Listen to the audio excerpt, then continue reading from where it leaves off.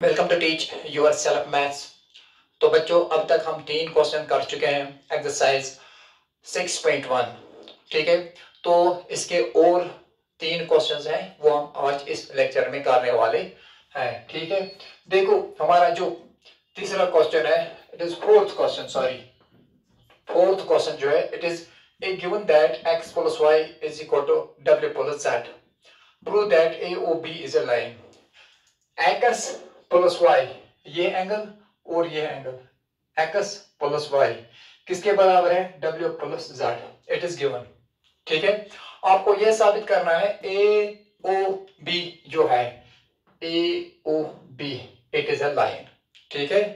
बड़ा सा, बड़ा आसान सा प्रूफ है सॉल्यूशन ठीक है? देखो ओ सी जो है ओ सी एक रे है, मान लीजिए यहाँ कुछ नहीं है। और बस इसकी तरफ़ ध्यान दो, ठीक है? ओ सी जो है it stand on A B O C stand on A B है कि नहीं? Now using unilinear pair axiom therefore, x pull y plus therefore, y plus x is equal to 180 degree और हम लिख सकते हैं x plus y is equal to 180 degree ठीक है? Okay call this equation first अब आते हैं यहाँ. इस रे की तरफ़ ठीक है? भूल जाओ अब इस चीज़ को. भूल जाओ अब इस चीज़ को. ठीक है? ऑल्सो ऑल्सो ओडी ये जो ओडी ये भी एक रे है. It stand on A B also OD stand on A B. Again using linear pair axiom, therefore W plus Z, W plus Z is equal to 180 degree. Call this equation second. ठीक है adding equation first and second. Adding equation first and second और we obtain देखो हमें क्या मिलेगा? Add करने से हमें क्या मिलेगा? ठीक है? X plus y y plus W plus Z किसके बराबर है? 180 डिग्री प्लस 180 डिग्री ठीक है? एम्पलाइज एक्स प्लस देखो एक्स प्लस वाई जो है यहाँ पे, याद रखो, यहाँ पे ध्यान रखो एक्स प्लस वाई जो है X plus Y X plus Y किसके बराबर है? W plus Z it is given तो मैं यहाँ एक्स प्लस वाई को चेंज करता हूँ. Y plus W plus Z implies W W plus Z ठीक है? Plus W plus Z is equal to 360 degree ठीक है? बड़ा आसान सा प्रूफ है. एम्पलाइज देखो two W plus 2z is equal to 760 degree ठीक है एम्पलाइज 2w plus z 2 को हम कॉमन लेते हैं 360 degree implies w plus z is equal to 360 degree divide by 2 ठीक है implies w plus z is equal to 180 degree देखो, हमें क्या मिला यहाँ पे? W प्लस z किसके बराबर आ रहा है? 180 डिग्री अब इसकी तरफ़ देखो फिगर की तरफ़। हमें यहाँ मिल रहा है w प्लस z किसके बराबर? 180 डिग्री ये कब मुमकिन है? ये तब मुमकिन है जब ए बी एक स्ट्रेट लाइन हो। ठीक है? देखो, तब देयरफॉर क्या मैं ये कह सकता हूँ? Therefore A O B A O B is a line क्यों लाइन है? क्योंकि ये जो लीनियर पेयर बना रहा है, किस लाइन पे बना रहा है? ए बी पे. That is why A O B is a straight line यही तो प्रूव करना था. Prove that A O B is a line line हो या स्ट्रेट लाइन सेम बात है. ठीक है? अब देखो. क्वेश्चन नंबर फाइव है P O Q is a line कहा है? देखो पी ओ क्यू एक लाइन है, कोई शक नहीं है, ठीक है? Ray O R is perpendicular to line P Q ये जो रे ओ आर है, ये, ठीक है? It is perpendicular to P Q ठीक है? It is perpendicular to P Q okay O S is another ray O S और एक रे है लाइंग बिटवीन किन किन दर, के दर किन रेज के दरमियान है ये? Lying between rays O P and O R ये जो और एक रे ओ एस है it lies between the rays O P and O R ठीक है?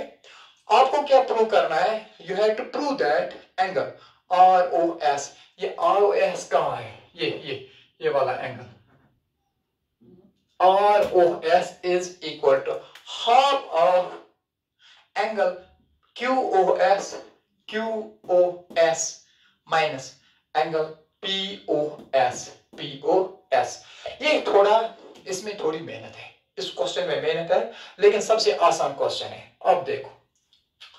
प्रूफ की तरफ़ आते हैं। देखो। मैं पहले लिखूँगा। देखो। एंगल पी, ओ, आर जो है, देखो वी है, बड़ा आसान सा प्रूफ है। We have angle P O R angle P O R जो है it is equal to 90 degree कोई शक नहीं, क्योंकि ये परपेंडिकुलर है, और इस पे परपेंडिकुलर है। ठीक है? ओके एम्पलाइज देखो एंगल पी ओ आर जो है पी ओ आर ठीक है? इनके, इस एंगल के बीच में ओ एस रे गुजर रही है, जो कि इस पी ओ आर को दो हिस्सों में बांट रहा है, ठीक है? एक हिस्सा पी ओ एस है और दूसरा हिस्सा आर ओ एस है, ठीक है? तो फिर मैं लिख सकता हूँ पी ओ आर के बदले implies angle R O S plus angle R O S P O S angle POS is equal to 90 degree. We call this equation first. ठीक है? ओके अब आ जाओ. देखो, अब आ जाओ इस पे. ये जो एस है, छोड़ो इसको. मान लीजिए ये यहाँ पे नहीं है. अब जो एस है it lies on P Q also S ray OS status on PQ ठीक है therefore therefore by linear pair axiom ठीक है angle angle POS angle POS ठीक है प्लस एंगल QOS एंगल QOS is equal to 180 degree ठीक है? Okay by linear axiom implies देखो, यहाँ पे जो इक्वेशन फ़र्स्ट है R O S plus angle P O S is equal to 90 degree मैं चाहता हूँ कि इस इक्वेशन को मैं इसमें इस्तेमाल करूँ। ठीक है? बाकी कोई सहारा नहीं है मेरे पास। ठीक है? मैं चाहता हूँ ये जो ये इक्वेशन फ़र्स्ट है मैं चाहता हूँ कि इसको इसमें इस्तेमाल करूँ। आपको लगता है कहीं पे गुंजाइश है? अगर मैं इस तरह से देखूँ तो गुंजाइश कहीं नहीं मिलते, लेकिन गुंजाइश निकालनी पड़ेगी। ठीक है? देखो कैसे निकालता हूँ। Implies angle P O S plus angle Q O S is equal to ये जो 180 डिग्री है, क्या मैं इसको लिख सकता हूँ? टू इंटू नाइनटी क्या मैं लिख सकता हूँ? Two nineties or hundred eighty degree ठीक है? एम्पलाइज अब देखो implies angle P O S plus angle Q O S is equal to two twice अब देखो टॉइस टॉइस ये जो टू इंटू नाइनटी है टू को ऐसे ही रखो। 90 के बदले यहाँ पे 90 आ रहा है फ़र्स्ट इक्वेशन में। अब 90 के बदले आप ये लिखो R O S plus P O S is equal to यहाँ पे नहीं आ सकता है ये, अब यहाँ पे नहीं आएगा ये, अब देखो यहाँ पे लिखता हूँ।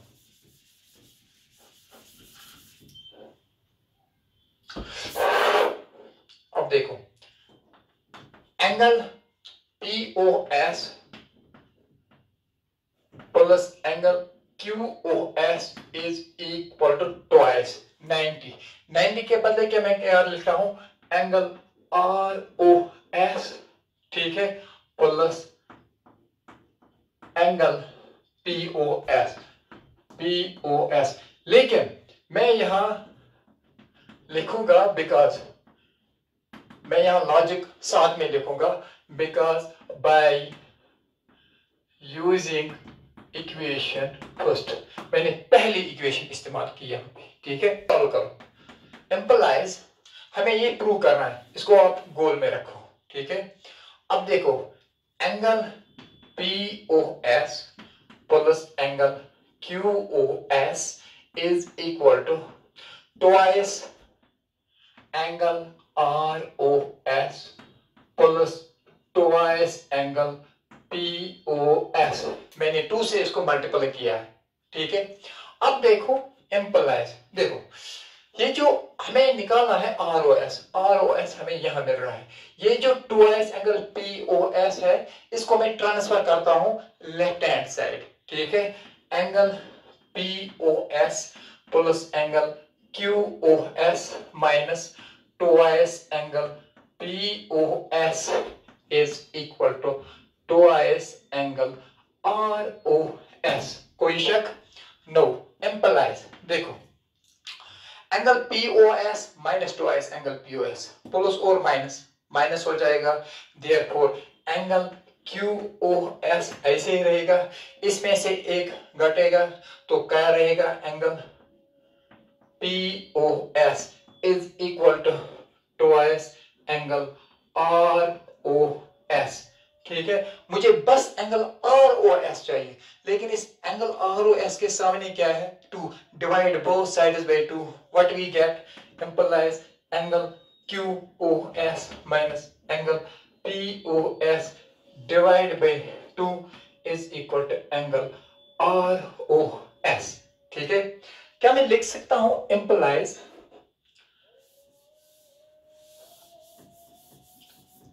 Implies implies क्या मैं आर लिख सकता हूँ?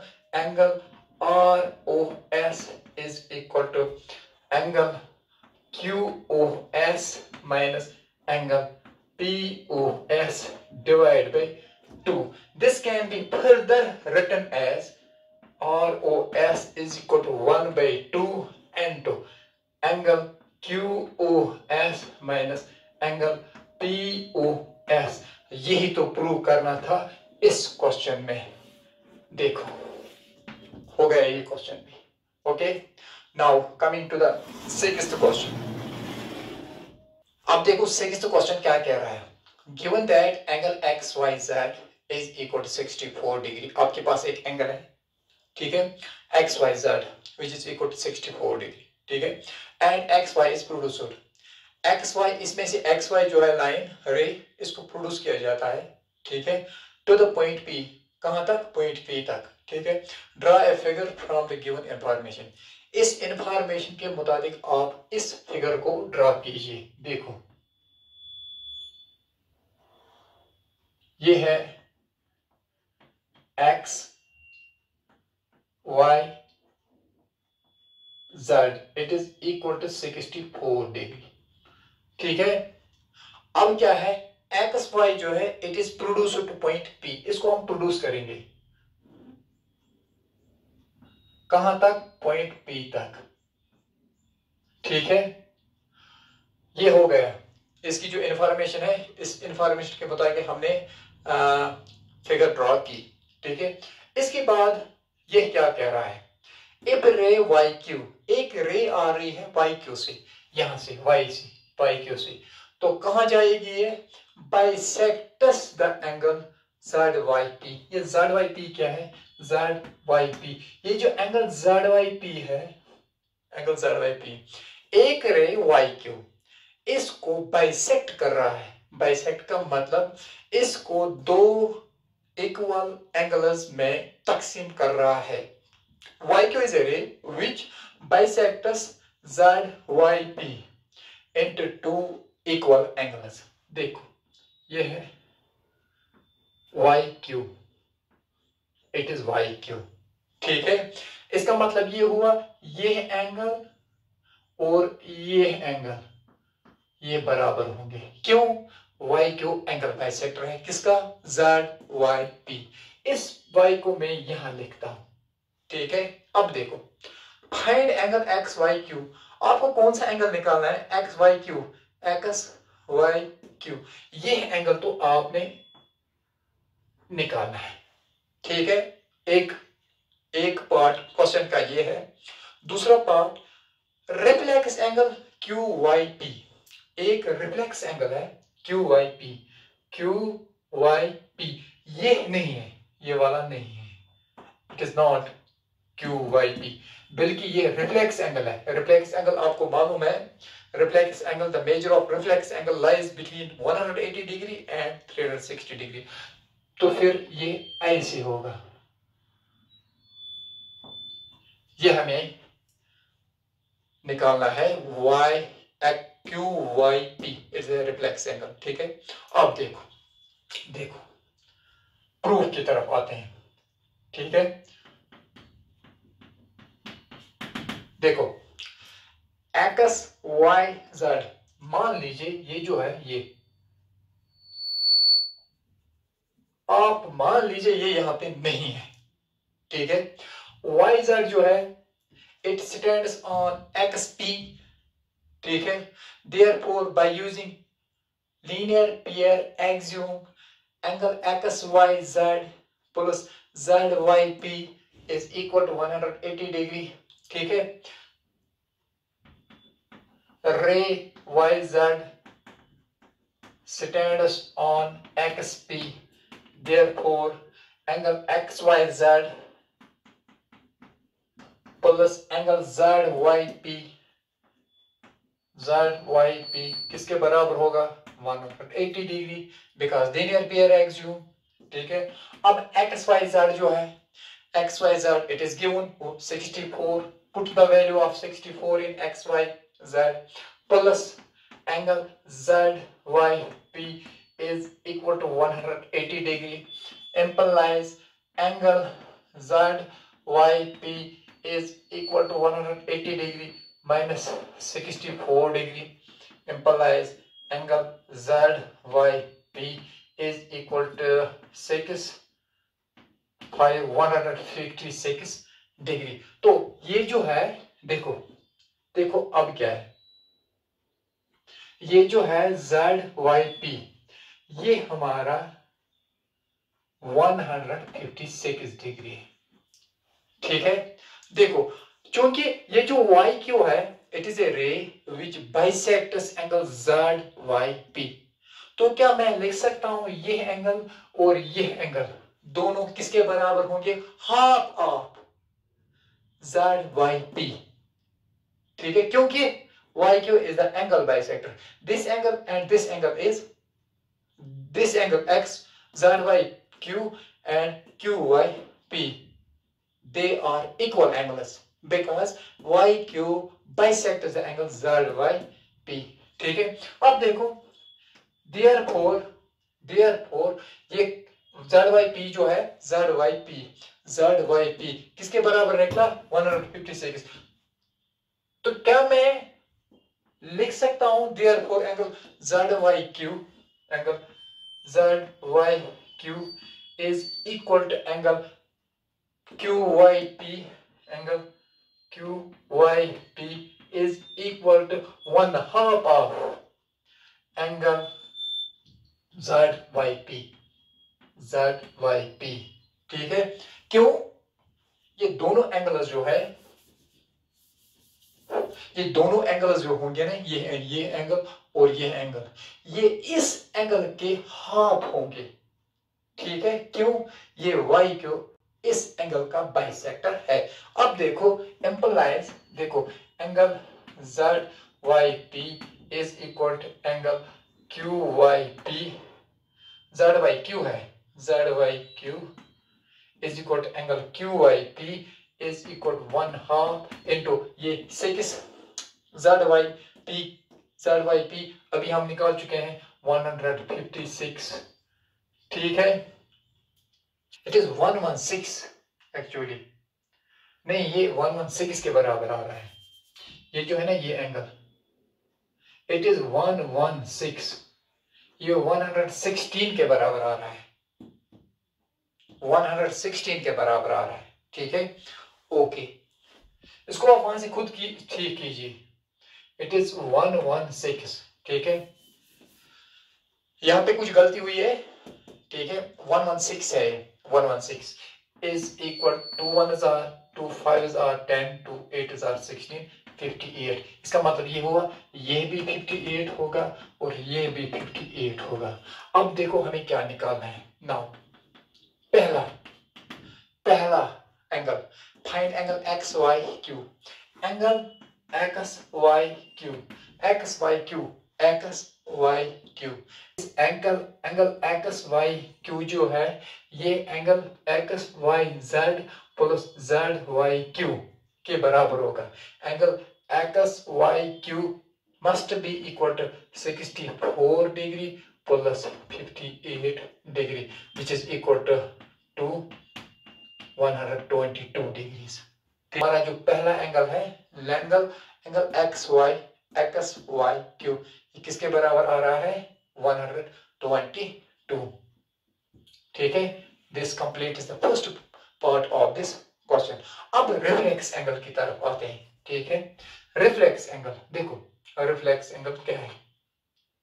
ये भी 58 रिफ्लेक्स एंगल अब देखो रिफ्लेक्स एंगल क्या है? Reflex angle Q Y P Q Y P ये रिफ्लेक्स एंगल है। ये रिफ्लेक्स एंगल है।